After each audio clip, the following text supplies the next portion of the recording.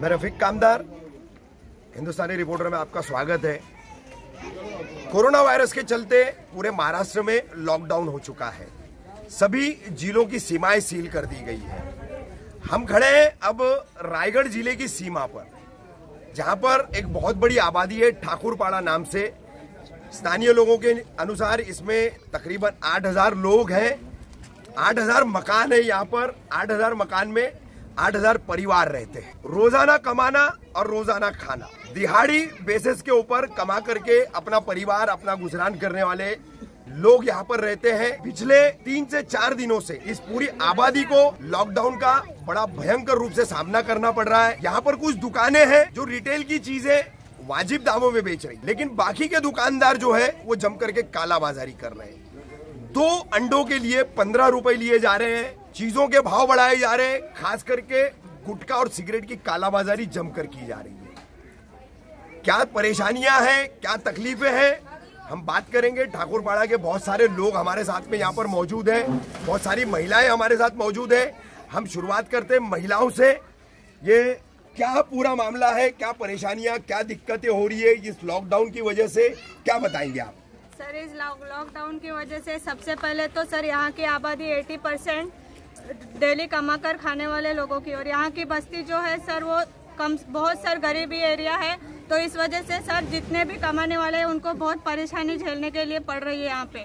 Sir जो भाजी के दाम है सर वो सौ रुपये अगर साठ रुपये साठ रुपये किलो अगर सर टमाटर मिलेगा तो फिर इंसान खाएगा तो क्या खाएगा? और अगर सर जो राशन पानी है वो भी अगर कॉस्टली मिलेगा तो सर इंसान कहाँ पे जाएगा? सुबह से कमा कर शाम को खाने वाला इंसान अगर शाम का पैसा खत्म हो जाए तो दूसरे दिन कहाँ से लेकर आएगा? वो भी तो समझना चाहिए। तो इस. और सेकंड थिंग सर यहाँ पे इलेक्ट्रिसिटी का बहुत परेशानी है हमको और अगर सर इलेक्ट्रिसिटी रहेगी तो इंसान सुकून से घर में तो रहेगा। इस वायरस की वजह से सर कोई औरत या कोई बच्चे घर से बाहर तो नहीं निकले गए, सुकून से अपने पंखे के नीचे तो रह गए। इसलिए सर हमारे को यहाँ पे इलेक्ट्रिसिटी सप्लाई का थोड़ा आप ध्यान दीजिए। और सेकंड थर्ड थिंग सर ये है कि यहाँ पे हमारे को पानी का प्रॉब्लम हो रहा है। यहाँ पे पानी लेने के लिए, पीने के, पानी की परेशानी है। इसलिए सर मैं आप लोगों से यही चाहती हूँ कि आप यहाँ के गरीबी, गरीब इलाके के लोगों को आपसे जितनी सहायता होगी, जितना मदद करने का होगा, सर आप प्लीज़ हमारे लिए इतना कोऑपरेट कीजिए। क्या क्या बताएँगे आप? आप क्या कहना चाहेंगी? मैं कहना चाहती हूँ, यहाँ पर पानी से बहुत तकलीफ़ है और पानी लेने के लिए कम से कम दो तीन किलोमीटर दूर जाना पड़ता है और वो भी पानी लेने के लिए जा रहे हैं तो पुलिस वाले उनको डंडे से मार रहे हैं और जो राशन लेने के लिए जा रहा है, सब्ज़ी वाले यहाँ से जा रहे हैं सब्ज़ी लेने के लिए तो उनको भी डंडे से मारा जा रहा है। यहाँ गाँव में सब्ज़ियाँ भी नहीं मिल रही है पब्लिक को खाने के लिए और पीने के लिए पानी की भी बहुत दिक्कतें हो रही है और छोटे छोटे बच्चे हैं, उनको दूध भी आ, मुश्किल से मिल रहा है। इसलिए छोटे बच्चों को दूध की सुविधा की जाए पीने के लिए पानी की सुविधा की जाए और लाइट पूरा दिन चार चार पाँच पाँच घंटा लाइट नहीं रहती है। रात को बारह बजे लाइट जाती है तो सुबह चार बजे लाइट आती है। तो ऐसे में हम क्या करेंगे? घर से बाहर नहीं निकल सकते हैं। इसलिए हमको लाइट की भी सुविधा दी, जाए। बच्चों के लिए दूध की सुविधा दी जाए। यहाँ पर पानी की सुविधा दी जाए और सब्ज़ी के लिए है ना खास करके व्यवस्था की जाए ताकि हम कम दामों में सब्ज़ी लेकर घर में पका के दाल चावल तो खा सकते हैं। इतनी... अच्छा अच्छा एक बात बताइए मुझे। जैसे आप लोगों ने ये तमाम मकामी लोगों ने मुझे बताया आठ हज़ार मकान है इस ठाकुरपाड़ा के अंदर। हाँ तो यहाँ पर जितने भी ये लोग रहते हैं क्या काम धंधा करते हैं? बहुत सारे रिक्शा चलाने वाले हैं। तो उनके अलावा ऐसे कौन से लोग हैं अलग अलग काम करने वाले और उनके कमाने का सिस्टम कैसा है? रोज़ाना कमाते हैं, माहवारी कमाते हैं, हफ्तावारी कमाते कैसा कमाते हैं? रोज़ाना भी कमाते हैं, हफ्तावारी भी कमाते हैं, लेकिन अभी पब्लिक बाहर नहीं निकल सकती है तो कैसे कमाएगी? और जो बेगारी का काम करते हैं, उनका भी काम बंद पड़ा है तो वो कैसे खाना खाएँगे? जो रिक्शा चलाते हैं, उनके सबके रिक्शे बंद पड़े हैं। तो पब्लिक कहाँ से है ना, घर, खर्चा चलाएगी? एक जना कमाने वाला, घर में पाँच जने खाने वाले किसी के चार बच्चे हैं, किसी के पाँच बच्चे हैं, उनको तो खाना खिलाना पड़ेगा। बाहर रिक्शे वाले को नहीं जाने दे रहे हैं मोटरसाइकिल वाले को नहीं जाने दे रहे हैं। तो इंसान बाहर से सामान कैसे लाएगा अपने बच्चों को कैसे खिलाएगा अपने बच्चों को कैसे पालेगा? मैं आपका और कब से आप ठाकुरपाड़ा में रहते हैं? ठाकुरपाड़ा में मैं बहुत सालों से रहता हूँ। जब से ठाकुरपाड़ा में कुछ नहीं था जब से यहाँ रहता हूँ जब से मैं बड़ी गाड़ी चलाता था अब मेरे घर की परिस्थिति सही नहीं है इसलिए मैं रिक्शा चलाता हूँ। उसके बावजूद यहाँ पर मेरे को कोई चीज़ लेने के लिए दुकानें नहीं खुली है और जिसके बाद राशन है वो ख़त्म हो चुका है और जिसके पास है वो कुछ कुछ भाव में ले रहा है, टमाटर कुछ भाव में बेच रहा है। पानी लेने के लिए मेरे मेरे बच्चे को भेजा था, छोटा लड़का भी था, मेरा दूसरा बड़ा लड़का था, तीनों लड़कों को भेजा। पुलिस वाले ने मेरे लड़के को मारा। पानी लेने के लिए मेरे रिक्शे की डंडी भी टेढ़ी कर दिया। कल पानी लाने के लिए दिया। मैं कड़लान फाटे की जो मंदिर है, वहाँ से मंदिर में से पानी ला के यहाँ पर अपने घर को दिया हूँ। और यहाँ कुछ बच्चे मदरसे में पढ़ते हैं उनको भी मैंने पानी दिया और आज भी एक बॉटल दिया। अभी मेरे घर में खुद पानी पीने के लिए अच्छा एक बात बताइए दो से तीन दिन से पूरा लॉकडाउन का सिस्टम चल रहा है और आगे भी काफ़ी दिनों तक चलने वाला है। हाँ। तो ये गुजरे भी दिन कैसे गुजारे? आपने रिक्शा तो चलाने मिली कमाई करने मिली? देखो मेरे पास जो पैसे थे पाँच छः हज़ार रुपये मैंने वो खर्चा कर चुका हूँ आज तक। अभी मेरे पास में कल के लिए पैसे भी नहीं है और राशन भी नहीं है मेरे पास में। अब मैं ये फ़िक्र में बैठा हूँ मेरी गाड़ी खड़ी है मैं करूँ तो क्या करूँ? खाऊ कहाँ से? मेरी छोटी बच्ची है छोटे लड़के हैं मेरे औरत है घर के अंदर घर किराए पे भाड़ा देना है सब देना है रिक्शे की सिप चढ़ना है। मैं कहाँ से लाऊँ? मैं कहाँ जाऊँ अभी? मैं अच्छा सरकार इन हालात में सरकार से क्या अपील करेंगे आप? सरकार से मैं ये अपील करूँगा कि यहाँ पर जो सुरेंद्र ठाकुर ठाकुरपाड़े के हमारे जितने रहने वाले हैं इसके अंदर ज़्यादा से ज़्यादा रोज कमाने रोज खाने वाले हैं जो अपना पी का काम करते हैं रिक्शा चलाते हैं दुकानों में काम करते हैं बिगारी काम करते, जिनको पाँच सौ रुपया दिहाड़ी है रोज की, वो काम करके यहाँ पर लाके से शाम को छोटी दुकानों से राशन भर के अपना पकाते खाते मेरे साथ में रहने वाले से कई बिगारी यहाँ पर है, जो शाम को कमा के लाके फिर खाते पीते अपना जो है फिर सुबह खत्म हो जाता है। इन लोग कहाँ जाएँगे, क्या करेंगे, कहाँ से लाएँगे? अभी मेरा एक लड़का ऐसी बिगारी है, वो यहाँ पर ही है, बता दो। आला बगस किधर है? इधर आ। देखो, ये लड़का है, ये पलम्बरा काम करता है यहाँ पूरे ठाकुर पाड़े के अंदर। लेकिन इसका काम नहीं है, इसकी माँ इसके पीछे पीछे फिर रही है। बेटा, मेरा कहीं चले तो नहीं जाएगा। कुछ तक गलत काम तो नहीं करेगा। क्योंकि पैसा नहीं है घर के अंदर खाने के लिए? नहीं। माँ भी काम पे जाती है, औरत है, दो बच्चे, एक लड़की है। वो क्या करेगी? इसलिए वो परेशान है, मेरे पास बैठे रहता, खालू, क्या करूँ क्या करूँ? क्या करेगा बेटा किसको लूटेगा? क्या करेगा अभी? पैसा कहाँ से लाएगा अभी? काम धंधा बंद है कहीं जा नहीं सकते। मैं खुद सोच रहा हूँ कि मैं अभी कल का दिन कैसा करूँ मेरे बच्चे लोग कैसा खिलाऊं? मैं सोच ये सोच रहा हूँ कि कल मैं क्या करूँगा बोल के। समझे? ऐसी परिस्थिति यहाँ पर हो गई है।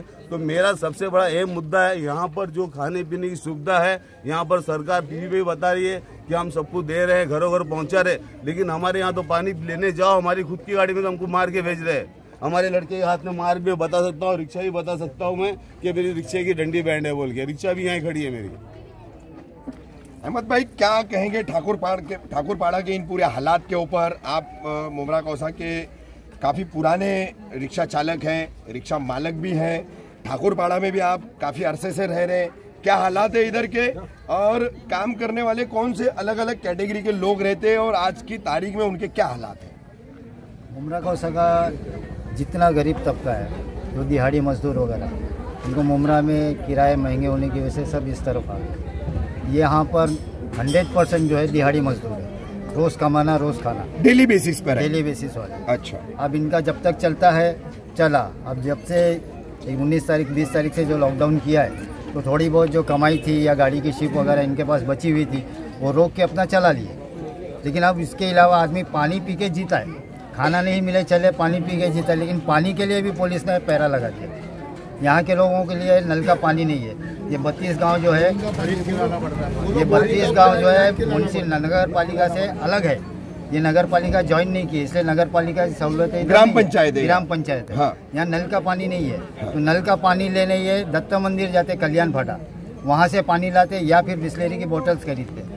ना तो बोतल्स आने वाली जो बिस्लेरी की गाड़ियाँ आती हैं उनको भी पुलिस आने नहीं दे रही है और ना यहाँ से जो लोग पानी लेने जा रहे हैं उनको जाने नहीं दे रही दोनों तरफ़ से परेशानी है। आज मैंने एक बज के आठ मिनट पे यहाँ के एमपी श्रीकांत जी शिंदे से बात किया। हाँ। तो उन्होंने बोला कि भाई आप अभी फ़ोन कर रहे हो मुझे इतनी तकलीफ़ होने के बाद।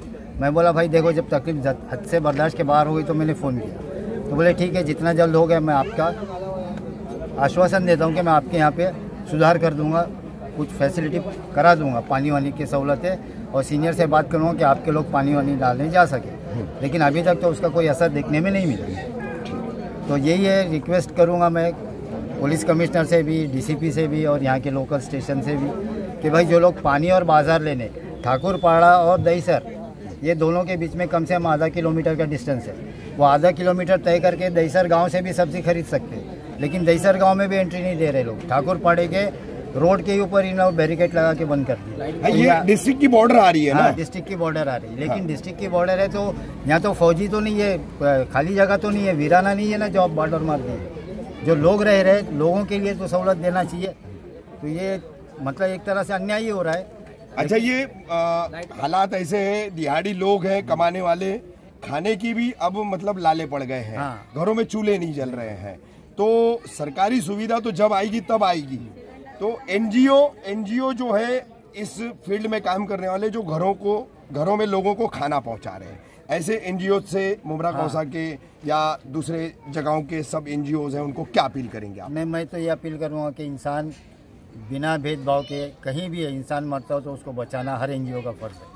और एनजीओ से रिक्वेस्ट करूँगा कि एक मरतबा अपने वॉल्टियर्स यहाँ भेजो सर्वे करो और उसके बाद में यहाँ पे लोगों के खाने पीने का इंतज़ाम कर दो। पानी बिल्कुल ज़रूरी पानी के बिना इंसान जी नहीं सकता। पानी तो पहले ही चाहिए खाना पीना भी चलता रहे। और सब में बड़ी मसला ये कि कुछ लोगों के पास अगर एफोर्ड कर सकते हैं तो उनके लिए रास्ता खोलो ताकि वो सामने से खरीदारी कर सकें। काला बाजारी शुरू कहाँ से होता है? काला बाजारी शुरू कहाँ से होता है? बताओ ना आप। मार्केट से शुरू होता है। आज मार्केट में मिर्ची नब्बे रुपए सौ रुपए किलो मार्केट में मिर्ची है। सौ रुपए किलो वटाना में। हम लोग क्या घर से बेचेंगे यहाँ पे?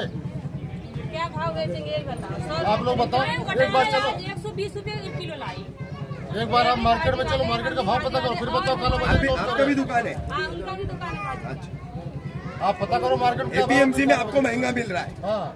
अच्छा वहाँ पे भाव बढ़ गए। वहाँ पे भाव बढ़ गया। दूसरी बात क्या है?